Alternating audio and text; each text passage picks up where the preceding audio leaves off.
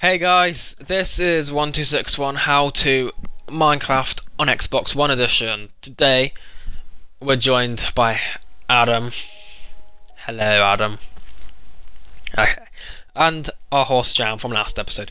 So today we're going to be showing you how to build an infinite cobblestone generator.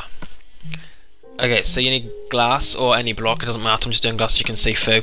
One lava bucket, one water bu bucket, redstone and a button and then you're going to need something to place a block on so we're using emerald. Okay so you're going to want to make a C shape and then that's going to be another C shape and you're going to put a piston facing forwards here. You're going to want to go three high up and cover the back piston And now you're going to want to do those two layers so the lava doesn't escape.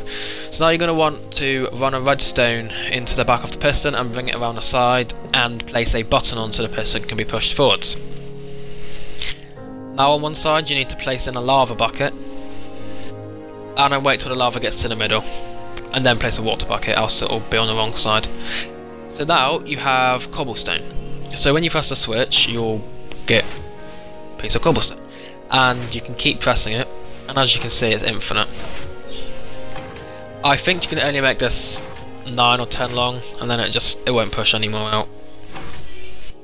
But if you're on survival and you need more cobblestone there's infinite cobble for you.